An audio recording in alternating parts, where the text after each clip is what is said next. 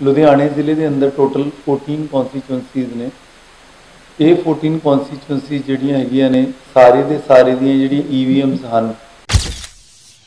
2979 polling booths ਦੀਆਂ ਪੂਰੀਆਂ ਦੀਆਂ ਪੂਰੀਆਂ ਜਿਹੜੀਆਂ ਈਵੀਐਮਸ ਨੇ ਔਰ ਵੀਵੀਪੈਟ ਨੇ, ਉਹਨਾਂ ਦੇ ਜਿਹੜੇ ਸਟਰੋਂਗ ਰੂਮਸ ਨੇ, ਉਹ ਸਾਰੇ ਦੇ ਸਾਰੇ ਲੁਧਿਆਣਾ ਸ਼ਹਿਰ ਦੇ ਅੰਦਰ ਬਣਾਏ ਗਏ ਨੇ। ਇਹ ਜਿਹੜੇ ਹੈਗੇ ਆ 8 ਬਿਲਡਿੰਗਸ ਦੇ ਅੰਦਰ ਸਾਡੇ ਸੈਂਟਰ ਨੇ। ਪੀਸੀਆਈ ਗਾਈਡਲਾਈਨਸ ਬੜੀਆਂ ਕਲੀਅਰ ਹੈ ਕਿ ਉੱਥੇ ਆ ਕੇ ਮਤਲਬ ਇਹੋ ਜਿਹਾ ਕੋਈ ਰੋਡ ਬਲੌਕ ਨਾ ਹੋ ਜਾਏ, ਕੋਈ ਚੀਜ਼। ਪਾਰਕਿੰਗ ਦਾ ਸਿਕਿਉਰਿਟੀ ਅਰੇਂਜਮੈਂਟ ਵੀ ਅਸੀਂ ਅਲੱਗ ਕਰ ਰਹੇ ਹਾਂ। ਸੋ ਟੋਟਲ 14 ਸੈਂਟਰਾਂ ਦੀ ਜਿਹੜੀ ਹੈਗੀ ਹੈ 57 ਦਾਖਾ ਤੋਂ ਲੈ ਕੇ 70 ਜਗਰਾਵਾਂ ਤੱਕ ਜਿਹੜੀ ਕਾਊਂਟਿੰਗ ਹੋਣੀ ਹੈ। ਇਹ ਕਾਊਂਟਿੰਗ 10 ਤਰੀਕ ਨੂੰ ਸਵੇਰੇ 8 ਵਜੇ ਸ਼ੁਰੂ ਹੋਣੀ ਹੈ। ਕਿਉਂਕਿ ਇਸ ਵਾਰ ਜਿਹੜਾ ਡਾਟਾ ਹੈਗਾ, ਉਹ ਨਾਲ ਦੀ ਨਾਲ ਐਨਕੋਰ ਕਰਕੇ ਇੱਕ ਇਲੈਕਸ਼ਨ ਕਮਿਸ਼ਨ ਦਾ ਸੌਫਟਵੇਅਰ ਹੈ। ਉਸ ਦੇ ਵਿੱਚ ਉਹ ਡਾਟਾ ਸਾਰਾ ਫੀਡ ਹੋਣਾ ਹੈਗਾ। ਉਹਦੇ ਲਈ ਆਈਟੀ ਪਰਸਨਲ ਲਗਾਏ ਗਏ ਨੇ। ਅੱਜ ਬਰੀਫਿੰਗ ਕਰਨ ਦਾ ਇਹ ਭਾਵ ਸੀਗਾ ਕਿਉਂਕਿ 10 ਤਰੀਕ ਨੂੰ ਤਾਂ ਐਕਚੁਅਲ ਕਾਊਂਟਿੰਗ ਹੋਈ ਜਾਣੀ ਹੈ। ਅਗਰ ਕੱਲ ਨੂੰ ਕੋਈ ਬਰੀਫ ਕਰ ਦੇ ਤਾਂ ਉਹ 10th ਮਾਰਨਿੰਗ ਨੂੰ ਜਦੋਂ ਨੂੰ ਛਪਦਾ ਬਾਈ ਦੈਟ ਟਾਈਮ ਤਾਂ ਇਲੈਕਸ਼ਨ ਦੇ ਰਿਜ਼ਲਟ ਹੀ ਆਉਣੇ ਸ਼ੁਰੂ ਹੋ ਜਾਣੇ ਆ। ਸੋ ਅਸੀਂ 8th ਨੂੰ ਤੁਹਾਨੂੰ ਬਰੀਫਿੰਗ ਤਾਂ ਕਰ ਰਹੇ ਹਾਂ ਸੋ ਦੈਟ 9th ਨੂੰ ਤੁਸੀਂ ਲੋਕਾਂ ਨੂੰ ਚੰਗੀ ਤਰ੍ਹਾਂ ਇਹਨੂੰ ਸਾਰਾ ਸੂਚਿਤ ਕਰ ਸਕੋ। ਲੁਧਿਆਣੇ ਜ਼ਿਲ੍ਹੇ ਦੇ ਅੰਦਰ ਟੋਟਲ 14 ਕਨਸਟੀਚੁਐਂਸੀਜ਼ ਨੇ। ਇਹ 14 ਕਨਸਟੀਚੁਐਂਸੀ ਜਿਹੜੀਆਂ ਹੈਗੀਆਂ ਨੇ, ਸਾਰੇ ਦੇ ਸਾਰੇ ਦੀਆਂ ਜਿਹੜੀਆਂ ਈਵੀਐਮਸ ਹਨ, ਉਹ 20 ਫਰਵਰੀ ਨੂੰ ਵੋਟਾਂ ਪੈਣ ਤੋਂ ਬਾਅਦ 2979 ਪੋਲਿੰਗ ਬੂਥਸ ਦੀਆਂ ਪੂਰੀਆਂ ਦੀਆਂ ਪੂਰੀਆਂ ਜਿਹੜੀਆਂ ਈਵੀਐਮਸ ਨੇ ਔਰ ਵੀਵੀਪੈਟ ਨੇ, ਉਹਨਾਂ ਦੇ ਜਿਹੜੇ ਸਟਰੋਂਗ ਰੂਮਸ ਨੇ, ਉਹ ਸਾਰੇ ਦੇ ਸਾਰੇ ਲੁਧਿਆਣਾ ਸ਼ਹਿਰ ਦੇ ਅੰਦਰ ਬਣਾਏ ਗਏ ਨੇ। ਇਹ ਜਿਹੜੇ ਹੈਗੇ ਆ 8 ਬਿਲਡਿੰਗਸ ਦੇ ਅੰਦਰ ਸਾਡੇ ਸੈਂਟਰ ਨੇ। ਇਹਨਾਂ ਚੋਂ ਪੰਜਾਬ ਐਗਰੀਕਲਚਰ ਯੂਨੀਵਰਸਿਟੀ 'ਚ 4 ਗੁਰੂ ਨਾਨਕ ਦੇਵ ਇੰਜੀਨੀਅਰਿੰਗ ਕਾਲਜ 'ਚ 2 SCD college for men and women ਹੁਣ ਤਾਂ ਦੋਨੇ ਹੀ ਹੋ ਗਿਆ। ਉੱਥੇ ਦੋ ਜਗ੍ਹਾ ਦੀ ਕਾਊਂਟਿੰਗ ਹੋਣੀ ਹੈ। ਆਰੀਆ ਕਾਲਜ ਜਿਹੜਾ ਹੈਗਾ ਇੱਥੇ ਇੱਕ ਸੈਂਟਰ ਬਣੇਗਾ ਕਾਊਂਟਿੰਗ ਦਾ। ਇਸੇ ਤਰ੍ਹਾਂ ਹੀ ਕੇਵੀਐਮ ਸਕੂਲ ਦਾ ਜਿਹੜਾ ਹਾਲ ਹੈਗਾ, ਉੱਥੇ ਇੱਕ ਗਵਰਨਮੈਂਟ ਕਾਲਜ ਫਾਰ ਔਮਨ ਇੱਥੇ ਇੱਕ ਹੈ। ਜਿਹੜਾ ਪੋਲੀਟੈਕਨਿਕ ਹੈ ਸਾਡਾ ਐਸਆਰਐਸ ਇੱਥੇ ਇੱਕ ਹੈ। Khalsa senior secondary school for girls ਇੱਥੇ ਇੱਕ ਹੈ। ਮਾਲਵਾ ਕਾਲਜ ਫਾਰ ਔਮਨ ਇੱਥੇ ਇੱਕ ਹੈ। ਸੋ ਟੋਟਲ 14 ਸੈਂਟਰਾਂ ਦੀ ਜਿਹੜੀ ਹੈਗੀ ਹੈ 57 ਦਾਖਾ ਤੋਂ ਲੈ ਕੇ 70 ਜਗਰਾਵਾਂ ਤੱਕ ਜਿਹੜੀ ਕਾਊਂਟਿੰਗ ਹੋਣੀ ਹੈ। ਇਹ ਕਾਊਂਟਿੰਗ 10 ਤਰੀਕ ਨੂੰ ਸਵੇਰੇ 8 ਵਜੇ ਸ਼ੁਰੂ ਹੋਣੀ ਹੈ। ਜਿਹੜਾ ਸਾਡਾ ਪੋਲਿੰਗ ਪਰਸਨਲ ਹੈਗੇ ਨੇ, ਉਹਨਾਂ ਦੀ ਅਸੀਂ ਹੁਣ ਤੱਕ ਜਿਹੜੇ ਟੋਟਲ ਪੋਲਿੰਗ ਪਰਸਨਲ ਅਸੀਂ ਲਗਾਏ ਨੇ, ਹਰ ਇੱਕ ਕਨਸਟੀਚੁਐਂਸੀ 14 ਕਨਸਟੀਚੁਐਂਸੀਆਂ ਦੇ ਵਿੱਚ ਕਿਉਂਕਿ 14 ਟੇਬਲ ਲੱਗਣੇ ਨੇ। ਸੋ ਇਸ ਹਿਸਾਬ ਨਾਲ ਇੱਕ ਕਨਸਟੀਚੁਐਂਸੀ ਜਿਹੜੀ ਹੈਗੀ ਹੈ ਉਹਦੇ ਅੰਦਰ ਅਸੀਂ ਜਿਹੜੇ ਹਨ 14 ਟੇਬਲਾਂ ਦੇ ਉੱਪਰ, ਹਰ ਇੱਕ ਟੇਬਲ ਦੇ ਉੱਪਰ ਇੱਕ ਕਾਊਂਟਿੰਗ ਸੁਪਰਵਾਈਜ਼ਰ ਹੈ, ਇੱਕ ਕਾਊਂਟਿੰਗ ਅਸਿਸਟੈਂਟ ਹੈ ਔਰ ਇੱਕ ਕਾਊਂਟਿੰਗ ਮਾਈਕਰੋ ਆਬਜ਼ਰਵਰ ਹੈਗਾ। ਸੋ ਇਹ ਜਿਹੜਾ ਸਟਾਫ ਟੋਟਲ ਬਣਦਾ ਹੈਗਾ ਇਨਕਲੂਡਿੰਗ 50% ਰਿਜ਼ਰਵ 882 ਬੰਦੇ ਜਿਹੜੇ ਪਿਓਰਲੀ ਕਾਊਂਟਿੰਗ ਡਿਊਟੀ ਤੇ ਲਗਾਏ ਗਏ ਨੇ। ਇਸ ਤੋਂ ਇਲਾਵਾ ਬਹੁਤ ਸਾਰਾ ਸਟਾਫ ਜਿਹੜਾ ਹੈਗਾ, ਹਰ ਇੱਕ ਟੇਬਲ ਦੇ ਉੱਪਰ ਦੋ ਦੋ ਬੰਦੇ ਕੈਰੀ ਕਰਦੇ ਨੇ। 28 ਨੂੰ 14 ਨਾਲ ਹੋਰ ਗੁਣਾ ਕਰ ਲਓ। ਜਿਹੜੇ ਬਹੁਤ ਸਾਰੇ ਜਿਹੜੇ ਕਲਾਸ 4 EMPLOYEES ਨੇ ਕੈਰੀ ਦਾ EVMs ਉਹਨਾਂ ਦੀ ਡਿਊਟੀ ਹੈ। ਔਰ ਉਸ ਤੋਂ ਇਲਾਵਾ ਬਹੁਤ ਸਾਰਾ ਸਪੋਰਟ ਸਟਾਫ ਔਰ ਆਈਟੀ ਪਰਸਨਲ ਜਿਹੜੇ ਹੈਗੇ ਨੇ, ਕਿਉਂਕਿ ਇਸ ਵਾਰ ਜਿਹੜਾ ਡਾਟਾ ਹੈਗਾ, ਉਹ ਨਾਲ ਦੀ ਨਾਲ ਐਨਕੋਰ ਕਰਕੇ ਇੱਕ ਇਲੈਕਸ਼ਨ ਕਮਿਸ਼ਨ ਦਾ ਸੌਫਟਵੇਅਰ ਹੈ। ਉਸ ਦੇ ਵਿੱਚ ਉਹ ਡਾਟਾ ਸਾਰਾ ਫੀਡ ਹੋਣਾ ਹੈਗਾ। ਉਹਦੇ ਲਈ ਆਈਟੀ ਪਰਸਨਲ ਲਗਾਏ ਗਏ ਨੇ। ਇਸ ਤੋਂ ਇਲਾਵਾ ਸੀਪੀ ਸਾਹਿਬ ਤੁਹਾਨੂੰ ਜ਼ਿਆਦਾ ਡਿਟੇਲ ਦੇ ਵਿੱਚ ਦੱਸਣਗੇ। ਸਿਕਿਉਰਿਟੀ ਜੋ ਪਹਿਲਾਂ ਜਿਸ ਤਰ੍ਹਾਂ ਸੀਗੀ ਇਨਰ ਲੇਅਰ ਸੀਏਪੀਐਫ ਦੀ ਜਿਹੜੀ ਉਸ ਤੋਂ ਇਲਾਵਾ ਇੰਟਰਮੀਡੀਏਟ ਲੇਅਰ ਲੇਅਰ ਹੈ ਸੈਕੰਡ ਲੇਅਰ ਹੈਗੀ ਹੈ, ਉਹ ਸਟੇਟ ਆਰਮਡ ਪੁਲਿਸ ਸੀਏਪੀ ਦੀ ਹੈ ਆਊਟਰ ਜਿਹੜੀ ਲੇਅਰ ਹੈਗੀ ਹੈ, ਉਹ ਲੋਕਲ ਪੁਲਿਸ ਦੀ ਹੈ। I leave it at that ਔਰ ਜ਼ਿਆਦਾ ਡਿਟੇਲਸ ਸੀਪੀ ਸਾਹਿਬ ਇਸ ਤੇ ਦੇਣਗੇ ਤੁਹਾਨੂੰ। ਬਟ ਮੋਟੇ ਤੌਰ ਤੇ ਇਹ ਹੈਗਾ ਕਿ ਉਸ ਦਿਨ no mobile are allowed inside except for the observer ਜਾਂ ਇੱਕ ਮੋਬਾਈਲ ਆਫ ਕਰਕੇ ਰਿਟਰਨਿੰਗ ਆਫੀਸਰ ਕੇਵਲ ਵੱਲ ਜਾ ਸਕਦੇ ਨੇ ਉਹ ਵੀ ਜਿਹੜੀ ਈਟੀਪੀਬੀਐਸ ਨੇ ਫੌਜੀਆਂ ਦੇ ਜਿਹੜੇ electronically transmitted postal ballot paper ਆਉਂਦੇ ਨੇ ਉਹਨਾਂ ਦੇ ਓਟੀਪੀ ਆਉਂਦਾ ਜਦੋਂ ਉਹਨਾਂ ਨੂੰ ਕਾਊਂਟ ਕਰਨਾ ਹੁੰਦਾ no one will be allowed entry without I cards ਮੇਰੀ ਮੀਡੀਆ ਪਰਸਨਸ ਨੂੰ ਵੀ ਬੇਨਤੀ ਹੈ ਕਿ ਤੁਹਾਡਾ ਜਿਹੜਾ ਯੈਲੋ ਕਲਰ ਦਾ ਜਿਹੜਾ ECI ਵੱਲੋਂ ਪ੍ਰਵਾਨਿਤ ਤੁਹਾਡਾ ਆਇਡੈਂਟੀਟੀ ਕਾਰਡ ਹੈ it has been circulated to all security agencies, all returning officers, as well as observers.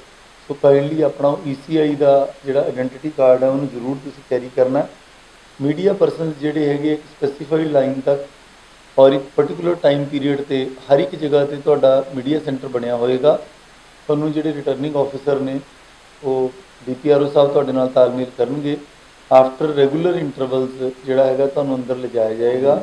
ਅੰਦਰ ਲਿਜਾ ਕੇ ਪਾਰਟਿਕੂਲਰ ਮਸ਼ੀਨ ਦੇ ਅੰਦਰ ਕੀ ਵੋਟਸ ਆ ਰਹੀਆਂ ਨੇ, ਉਹਦੀ ਫਿਲਮਿੰਗ ਨਹੀਂ ਅਲਾਉਡ ਹੋਏਗੀ।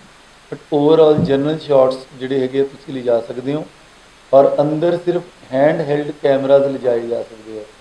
ਕੋਈ ਟ੍ਰਾਈਪੋਡਸ ਜਾਂ ਇਸ ਤਰ੍ਹਾਂ ਦੀ ਸਟੇਸ਼ਨਰੀ ਕੋਈ ਇਕਵਿਪਮੈਂਟ ਜਾਂ ਮੋਬਾਈਲ ਫੋਨ ਜਿਹਦੇ ਨਾਲ ਕਿ ਬਾਹਰ ਕਮਿਊਨੀਕੇਸ਼ਨ ਹੋ ਸਕੇ, ਉਹ ਜਿਹੜੀਆਂ ਚੀਜ਼ਾਂ ਉਹ ਅੰਦਰ ਅਲਾਉਡ ਨਹੀਂ ਹੋਣਗੀਆਂ।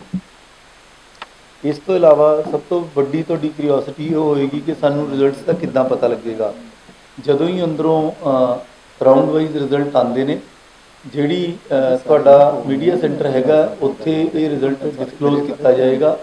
ਸਾਰੇ ਰਿਟਰਨਿੰਗ ਆਫੀਸਰਸ ਨੂੰ ਕਿਹਾ ਗਿਆ ਹੈ ਕਿ ਉੱਥੇ ਇੱਕ LED ਤੁਹਾਡੀ ਲਗਾ ਦਿੱਤੀ ਜਾਵੇ, ਜਿਸ ਤੇ ਕਿ ਉਹ ਅਪਡੇਟ ਕਰਦੇ ਰਹਿਣਗੇ। ਇਸ ਤੋਂ ਇਲਾਵਾ, ਮੈਂ ਵੀ ਹਰ ਇੱਕ ਰਾਉਂਡ ਤੇ ਆਈ ਪ੍ਰੋਮਿਸ ਯੂ ਕਿ ਮੈਂ ਆਪਦੇ ਫੋਨ ਤੋਂ ਜਦੋਂ ਮੇਰੇ ਕੋਲ ਕੰਪਾਈਲ ਹੋ ਕੇ ਰਾਉਂਡ ਵਾਈਜ਼ ਡਾਟਾ ਆਉਂਦਾ ਹੈ ਤਾਂ ਮੈਂ ਰੈਗੂਲਰਲੀ ਡੀਪੀਆਰਓ ਸਾਹਿਬ ਨੂੰ ਦਿੰਦਾ ਰਹੂੰਗਾ। ਉਹ ਅੱਗੇ ਜਿਹੜਾ ਹੈਗਾ ਤੁਹਾਨੂੰ ਫੀਡਬੈਕ ਦਿੰਦੇ ਰਹਿਣਗੇ।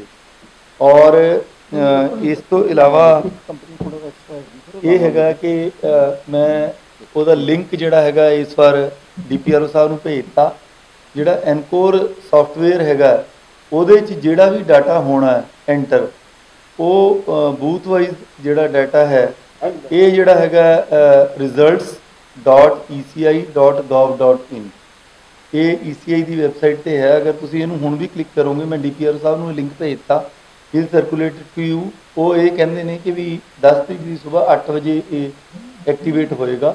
ਆਰਓਜ਼ ਨੂੰ ਤੇ ਲੋਕਲ ਡੀਐਸਪੀ ਸਾਹਿਬਾਨ ਨੂੰ ਏਸੀਪੀ ਨੂੰ ਅਸੀਂ ਕਹਿ ਕੇ ਆਏ ਹਾਂ ਕਿ ਉੱਥੇ ਸਾਈਨੇਜ ਹੋਏਗਾ।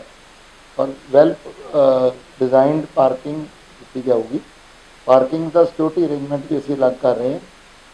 ਉਸ ਤੋਂ ਇਲਾਵਾ ਜਿਹੜੀ ਮੇਨ ਰੋਡ ਹੈ, ਜਿੱਥੇ ਥਰਡ ਟੀਅਰ ਦੇ ਬਾਹਰ ਮਤਲਬ ਮੇਨ ਰੋਡ ਹੀ ਆ ਜਾਂਦੀ ਹੈ, ਜਿਵੇਂ ਦੋ ਤਿੰਨ ਆਪਣੇ ਕਾਲਜ ਰੋਡ ਦੇ ਉੱਤੇ ਹੈਗੇ ਆ ਕਾਊਂਟਿੰਗ ਸੈਂਟਰ ਉੱਥੇ ਅਸੀਂ ਪਲਾਨ ਇਹ ਕੀਤਾ ਕਿ ਉਹਨੂੰ ਉਸ ਥੋੜੇ ਦੇਰ ਵਾਸਤੇ ਟ੍ਰੈਫਿਕ ਡਾਇਵਰਸ਼ਨ ਦੇਣੀ ਪਏਗੀ।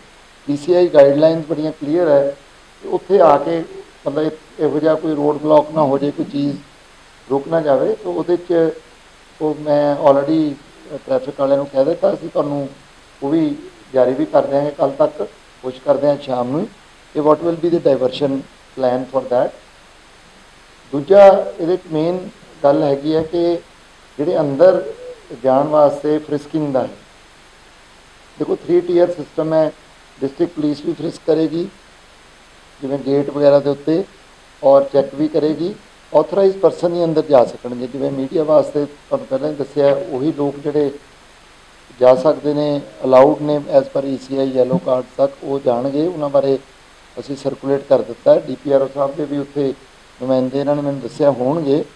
ਸੋ ਇਟ ਵਿਲ ਬੀ ਇਹਨਾਂ ਨਾਲ ਕੋਆਰਡੀਨੇਸ਼ਨ ਪੂਰਾ ਹੋਏਗਾ, ਕੋਈ ਦਿੱਕਤ ਨਹੀਂ ਆਪਾਂ ਨੂੰ ਆਏਗੀ। ਦੂਜਾ ਸੈਕੰਡ ਟੀਅਰ ਹੈਗਾ ਸਟੇਟ ਆਰਮ ਪੁਲਿਸ ਦਾ, ਉੱਥੇ ਵੀ ਫ੍ਰਿਸਕਿੰਗ ਹੋਏਗੀ। ਉੱਥੇ ਔਮਨ ਸਟਾਫ ਵੀ ਜਿਹੜਾ ਨਾਲ ਅਸੀਂ ਉਹਨਾਂ ਨੂੰ ਮੁਹੱਈਆ ਕਰਾ ਰਹੇ ਹਾਂ as per ECI guideline third ਤਾਂ ਨੈਚੁਰਲੀ ਜਿਹੜਾ ਪੈਰਾਮਿਲਟਰੀ ਸੀਏਪੀਐਫ ਜਿਹਨੂੰ ਕਹਿੰਦੇ ਆ, ਉਹ ਉਹਨਾਂ ਦਾ ਤਾਂ ਉੱਥੇ ਹੈਗਾ ਹੀ ਹੈ। ਮੇਨ ਜਿਹੜਾ ਇਹਦੇ ਚ ਹੋਰ ਦੂਸਰਾ ਗੱਲ ਹੈ ਕਿ ਜਿਹੜਾ ਰਸਤਾ ਹੈਗਾ ਈਵੀਐਮ ਦਾ, ਉਹ ਮੈਂ ਤੇ ਡੀਸੀ ਸਾਹਿਬ ਨੇ ਜਾ ਕੇ ਹਰੇਕ ਕਾਊਂਟਿੰਗ ਸੈਂਟਰ ਦੇਖਿਆ। ਈਵੀਐਮ ਦੀ ਇੰਟਰਫੇਰੈਂਸ ਨਹੀਂ ਹੋਣੀ ਚਾਹੀਦੀ, ਚਾਹੇ ਉਹ ਕਾਊਂਟਿੰਗ ਸਟਾਫ ਹੈ ਜਾਂ ਕੋਈ ਹੋਰ ਨੇ। ਸੋ ਉਹਨੂੰ best possible as per location ਸਾਰਾ ਆਰਓਜ਼ ਦੇ ਨਾਲ ਤੇ ਲੋਕਲ ਅਫਸਰ ਨੇ ਕਰ ਦਿੱਤਾ। ਪੁਲਿਸ ਦੀ ਤੁਹਾਨੂੰ ਪਤਾ ਹੀ ਹੈ ਐਂਟਰੀ ਇਜ਼ ਨਾਟ ਅਲਾਉਡ ਅੰਦਰ ਕਾਊਂਟਿੰਗ ਸੈਂਟਰ ਤੇ, ਉਹ ਸਿਰਫ ਜਦੋਂ ਆਰਓ ਸਾਹਿਬ ਰੈਕੁਜੀਸ਼ਨ ਕਰਨਗੇ ਉਦੋਂ ਹੀ ਜਾਣਾ ਆਪਾਂ। ਉਸ ਤੋਂ ਇਲਾਵਾ ਜਿਹੜੇ ਸਾਡੇ ਆਫੀਸਰਸ ਨੇ ਉਹਨਾਂ ਨੂੰ ਅਸੀਂ ਡੀਸੀਪੀ ਲੈਵਲ ਜਾਂ ਜੁਆਇੰਟ ਸੀਪੀ ਲੈਵਲ ਦੇ ਆਫੀਸਰ ਨੂੰ ਦੋ ਦੋ ਕਾਊਂਟਿੰਗ ਸੈਂਟਰ ਜਿਵੇਂ ਅੱਗੇ ਅਸੀਂ ਈਅਰਮਾਰਕ ਕੀਤੀਆਂ ਸੀਗੀਆਂ ਦੋ ਦੋ ਕਨਸਟੀਟੈਂਸੀ ਇਸ ਤਰ੍ਹਾਂ ਹੀ ਉਹਨਾਂ ਨੂੰ ਦਿੱਤੀਆਂ ਹੋਈਆਂ ਉਸੇ ਤਰੀਕੇ ਨਾਲ। ਉਸ ਤੋਂ ਇਲਾਵਾ ਉਹਨਾਂ ਦੇ ਥੱਲੇ ਏਡੀਸੀਪੀ ਸਾਹਿਬਾਨ ਨੇ ਏਸੀਪੀ ਸਾਹਿਬਾਨ ਨੇ ਜਿਹੜੇ ਸਾਡੇ ਕੋਲ ਐਕਸਟਰਾ ਇੰਸਪੈਕਟਰ ਸਬ ਇੰਸਪੈਕਟਰ ਨੇ, ਉਹ ਸਾਰਾ ਅਸੀਂ ਜੋ ਡਿਊਰਿੰਗ ਇਲੈਕਸ਼ਨਸ ਪੋਲਿੰਗ ਵਾਲੇ ਦਿਨ ਅਰੇਂਜਮੈਂਟ ਸੀ, ਉਸੇ ਤਰ੍ਹਾਂ ਇਦਾਂ ਹੀ ਹੋਣਗੇ। ਲਾਅ ਐਂਡ ਆਰਡਰ ਕੰਪੋਨੈਂਟ ਅਸੀਂ ਲੱਗ ਰੱਖਿਆ। ਔਰ ਉਸ ਤੋਂ ਬਾਅਦ ਜਿਹੜਾ ਵਿਕਟਰੀ ਪ੍ਰੋਸੈਸ਼ਨ ਜਾਂ ਕੋਈ ਇਹੋ ਜਿਹਾ ਪ੍ਰੋਸੈਸ਼ਨ ਉੱਥੇ ਅਲਾਉਡ ਹੀ ਨਹੀਂ ਹੈ ਕਾਊਂਟਿੰਗ ਸੈਂਟਰ ਤੋਂ। ਔਰ ਦੂਸਰੀ ਗੱਲ ਇਹ ਹੈ ਕਿ ਜਦੋਂ ਉਸ ਤੋਂ ਬਾਅਦ ਕੋਈ ਵਿਕਟਰੀ ਪ੍ਰੋਸੈਸ਼ਨ ਕੱਢਦਾ ਵੀ ਹੈ, ਅਸੀਂ ਸਾਰਾ ਰਿਕੁਐਸਟ ਆਰਓਸ ਨੂੰ ਅੱਜ ਜੀ ਸਾਹਿਬ ਨੇ ਬੁਲਾਇਆ, ਉਸ 'ਚ ਪੁਲਿਸ ਵਾਲੇ ਵੀ ਬੁਲਾਏ ਹੈ ਅਸੀਂ ਵੀਡੀਓਗ੍ਰਾਫੀ ਉਹਦੀ ਸਾਰੀ ਕਰਾਉਣੀ ਮੈਂਡੇਟਰੀ ਹੈ, ਕਿਉਂਕਿ ਉਹਦੇ 'ਚ ਜਿਹੜਾ ਖਰਚਾ ਹੈਗਾ, ਉਹ ਕੋਈ ਵੀ ਚੀਜ਼ ਜਿਹੜੀ ਯੂਜ਼ ਕਰਦਾ, ਉਹ ਖਰਚੇ ਦੇ ਵਿੱਚ ਪਏਗਾ।